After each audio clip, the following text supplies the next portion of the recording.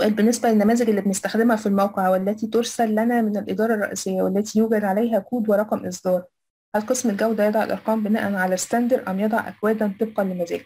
لا طبعا هو بيحط أرقام آه تبع ال standard بيسميه هو بيحط serial number كده بيبقى موجود في ال footer من تحت اسمه control copy ده بتعني إن حضرتك ملتزم بال form دي وما غيرتش فيها أي حاجة.